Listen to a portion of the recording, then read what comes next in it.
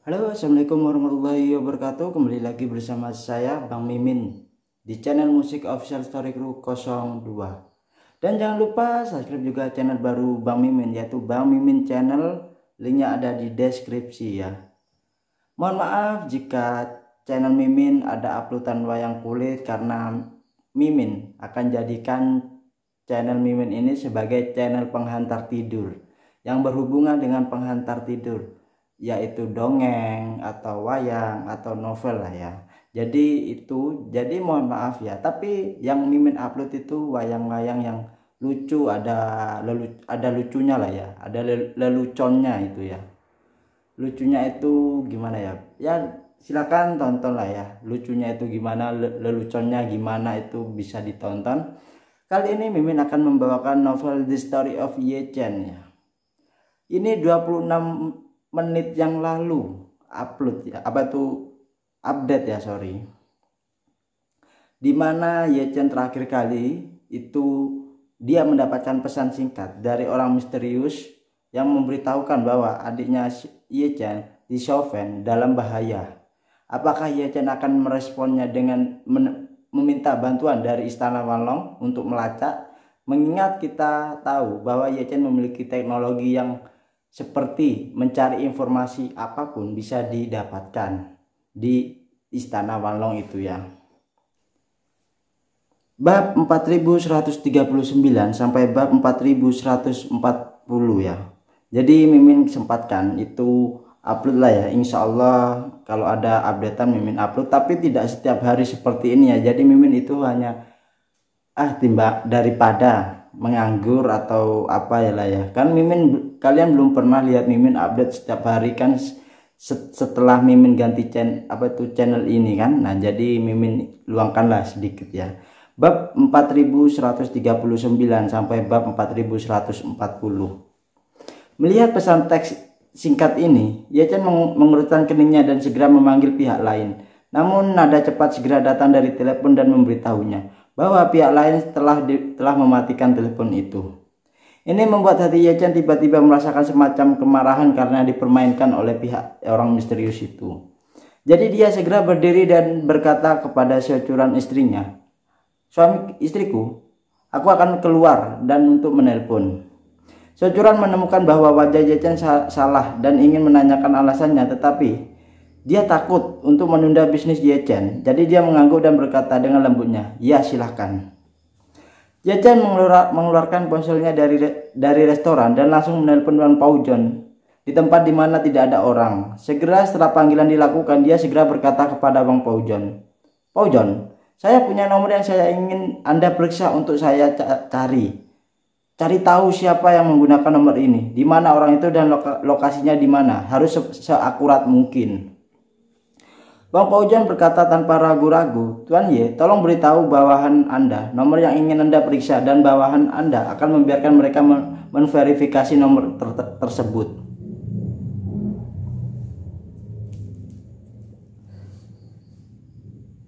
Yejan segera memberitahu Wang Paujan nomor itu. Hanya tiga menit kemudian Wang Paujan memanggil Yechen kembali.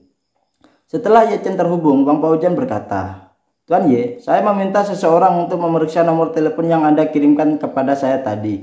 Nomor ini adalah nomor ponsel dari Kanada dan operatornya adalah Bell Communita Communication. Komunikasi kom, Communication. Namun ini adalah kartu ponsel prabayar anonim, jadi saya tidak dapat menemukan informasi yang relevan tentang pengguna tersebut.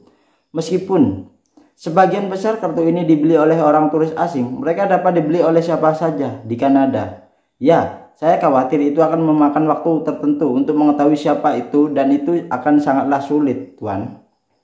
Berbicara tentang ini, Bang Paujan menambahkan lagi, saya telah meminta bawahan saya untuk mencoba menentukan lokasi spesifik lawan yang akurat berdasarkan informasi stasiun pangkalan yang digunakan oleh lawan, tetapi untuk menentukan koordinat spesifik lawan, lawan haruslah tetap terhubung dengan jaringan setidaknya selama satu atau dua menit. Tetapi kesadaran anti pengintaian pihak lain sangatlah kuat dan dia tidak terhubung ke jaringan selama lebih dari 30 detik setiap kali dia online. Jadi kami hanya dapat mengetahui perkiraan lokasinya. Yachen buru-buru bertanya, Di mana perkiraan lokasinya itu? Bang Paujan menjelaskan, stasiun pangkalan yang digunakan oleh pihak lain terletak di, detak, di dekat Chinatown, di Vancouver, di Kanada. Radius jangkauan sinyal stasiun pangkalan lebih dari 2 km. Sehingga hanya dapat ditentukan oleh pihak lain harus berada di daerah Chinatown dan lokasinya pasti masih belum pasti. Yachen terkejut ketika dia mendengar ini. Jika pengguna ponsel ini tidak berada di Vancouver, maka Yachen juga dapat berasumsi bahwa ini mungkin semacam lelucon atau tahap pemanasan penipuan telekomunikasi. Tidak peduli apa tujuan pihak lain, setidaknya dia tidak memiliki ancaman langsung terhadap Chauvin. Namun bawahan Bang Paujon sudah menemukan lokasi pengguna ponsel di Chinatown, Vancouver yang akurat. Ini membuktikan bahwa pengguna ponsel ini ada di pihak Lee Chauvin. Ini membuat Yachen gugup lagi. Jadi dia bertanya kepada Wang Paujon, apakah ada cara untuk menentukan lokasi yang tepat dari lawan sesegera mungkin? Setidaknya kur kurangi akurasi hingga dalam radius 100 meter. Wang Paujon menjelaskan, Tuan Ye, jika Anda ingin mengurangi akurasi pem pemosisian sehingga dalam radius 100 meter, Anda harus membiarkan pihak lain terus terhubung ke jaringan setidaknya selama satu atau dua menit sehingga memungkinkan untuk meneruskan data antara dia dan beberapa stasiun pangkalan. Untuk acara secara akurat menemukan posisi jika pihak lain hanya menyalakan telepon selama 30 detik setiap kali secara teknis tidak mungkin untuk mencapai posisi yang tepat. Setelah mendengarkan pengantar ruang Paujon, Yachen tahu bahwa kebiasaan pihak lain untuk menutup setelah mengirim informasi harus menghindari lokasi stasiun pangkalan, dan metode ini tampaknya sangatlah efektif saat ini. Jadi dia bertanya kepada Wang Paujon, apakah Anda punya staf di Kanada?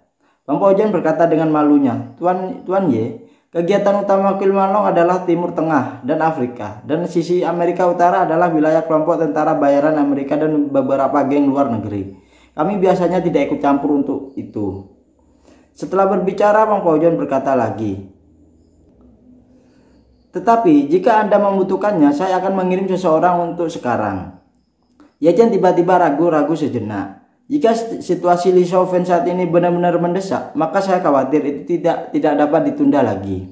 Jika Bang Paujan mengirim seseorang dari Timur Tengah ke Vancouver di Kanada, jarak penerbangannya saja akan melebihi 10.000 km. Dia tidak memiliki pesawat Concorder dan akan memakan waktu lebih dari 10 jam untuk tiba di, di tempat dalam tepat waktu. Dengan cara ini jika sesuatu terjadi pada Chauvin selama 10 jam ini tidak ada yang bisa membantunya. Karena itu sekarang orang orang yang paling dekat dengan Chauvin adalah dirinya sendiri. Lagi pula jika Anda terbang dari sini, Anda bisa sampai ke Vancouver dalam lebih dari 4 jam. Dan jika Anda dapat menyewa Gul Gulfstream G650, Anda bisa sampai di sana dalam 3 jam. Jadi, Yachen sudah membuat keputusan untuk pergi ke, ke, ke Vancouver secara langsung. Dia juga khawatir jika orang yang mengirim pesan teks berurusan berusaha menyingkirkan Chauvin akan berbahaya bagi istrinya Xiao Churan untuk tinggal di Amerika Serikat sendiri nanti. Namun ketika berpikir bahwa orang yang mengirim pesan teks berada di sisi Lee Chauvin, kemungkinan target pihak lain adalah Xiao Churan, meskipun tidak sepenuhnya mustahil, sangatlah kecil. Karena untuk pengalian perhatian dari Ye Chen ya. Tapi Ye Chen masih berkata kepada Wang Paujon, Paujon, Anda segera mengatur beberapa tentara wanita dan dari Istana Wanlong untuk datang ke Amerika Serikat dan itu hanya 6.000 km dari, dari wilayah Anda ke pantai timur Amerika Serikat. Apa yang akan terjadi malam ini? Jika kamu bisa ketika kamu tiba, bantu aku diam-diam melindungi istriku Syocuran. Bang Paujan segera berkata, tidak masalah Tuan Ye, saya akan mengaturnya dan percayakanlah kepada saya. Setelah selesai berbicara, dia bertanya lagi, Tuan Ye, apakah Anda akan pergi ke sana sendirian, Tuan Ye? Ya, saya akan ber, saya akan datang sendirian. Kamu jangan perlu kamu tidak perlu khawatir tentang Kanada. Aku akan menyelesaikan masalah ini. Yachen menutup telepon Wang Paujan dan hal, hal yang pertama dia lakukan adalah meminta Tuan Ye untuk membantu mengkoordinasikan jet bisnis. Meskipun keluarga Ye tidak dapat memiliki jet bisnis sendiri di seluruh dunia, setidaknya mereka memiliki hubungan kerjasama dengan perusahaan penyewaan jet bisnis besar. Sehingga mereka segera membantu Ye Chen meng mengordinasikan Gulf, Gulfstream G650 yang dapat dikirim melalui satu jam kemudian. Lepas landas dari Bandara Granville di, di Providence. Jadi, Yajan segera kembali ke restoran dan sebelum dia duduk, duduk bertanya dengan hati-hati, Suamiku, apa ada yang salah? Ada masalah?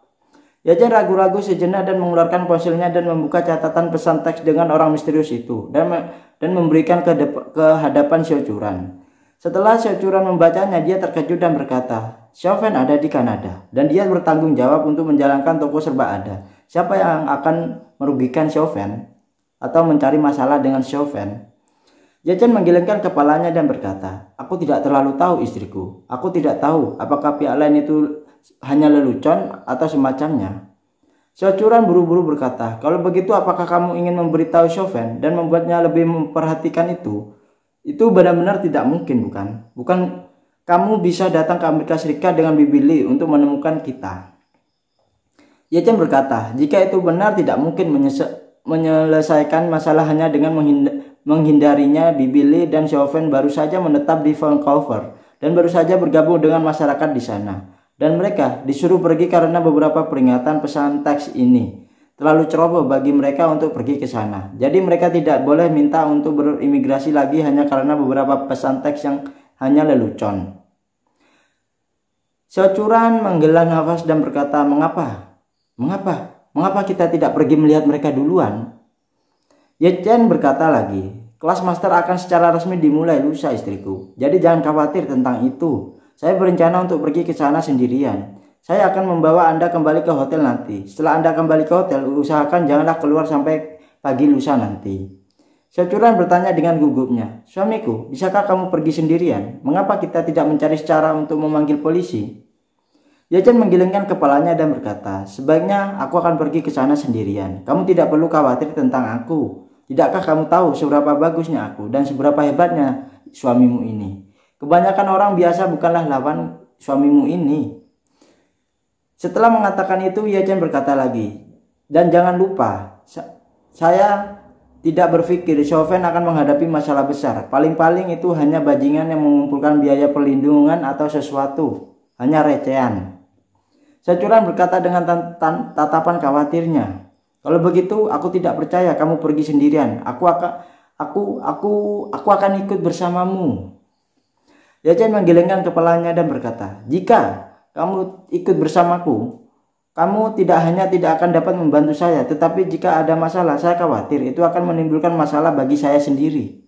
Jika kamu jika aku membiarkan kamu mengikutiku, aku pasti akan melindungi kalian berdua dengan diriku sendiri. Maka saya mungkin tidak dapat menanganinya. Jadi dengan cara terbaik adalah kamu menunggu suamimu di sini di hotel dan aku akan datang kepada kamu sesegera mungkin setelah urusan selesai. Setelah mengatakan itu, Yejan berkata dengan tegasnya, masalah ini diselesaikan seperti ini. Saya baru saja membeli tiket untuk keberangkatan dalam satu jam. Saya akan membawa Anda kembali ke hotel terlebih dahulu dan kemudian langsung pergi ke bandara. Nah, itu ya untuk The Story of Yechen bab 4139 sampai bab 4140 ya. Jadi jangan bosan-bosan mantengin channel musik official story crew 02 mungkin Mimin ada luang waktu, kelonggaran waktu bisa upload ya atau itu entah dongeng atau apa ya. Jadi Mimin umumkan ya, Mimin akan jadikan channel ini sebagai channel pengantar tidur yaitu entah dongeng, entah channel apa tuh entah entah apa ya novel, novel ya dongeng novel dan wayang lah ya wayang itu kalau buat tidur itu enak loh ya Mimin sudah ngerasain sendiri apalagi lihat video yang lucu-lucu itu kita tiba-tiba bisa terlelap dengan di, dengan sendirinya. Kalau nggak percaya silahkan coba. Terima kasih yang sudah men subscribe Mimin dan mendukung Mimin dan terima kasih juga yang sempat subscribe dan ternyata dan akhirnya unsubscribe. Mimin tidak menyalahkan kalian mungkin kalian kurang puas dengan layanan channel Mimin. Jadi Mimin ucapkan terima kasih yang sudah mau subscribe sebelumnya dan unsubscribe ya. Mimin tidak keberatan soal itu. Jadi terserah kalian. Mimin hanya menyajikan dengan kemampuan Mimin yang semampu Mimin aja ya. Terima kasih. Salam dari Bang Mimin salam dari musik official story crew 02 ya Terima kasih. Wassalamualaikum warahmatullahi wabarakatuh. Wabil taufiq walhidayah. Wassalamualaikum warahmatullahi wabarakatuh. Selamat malam, selamat tidur dan jaga kesehatan kalian. Jangan sampai sakit dan jangan sampai patah hati. Lebih baik kita mematahkan hati dia daripada kita patah hati karena dia. Oke? Bye bye.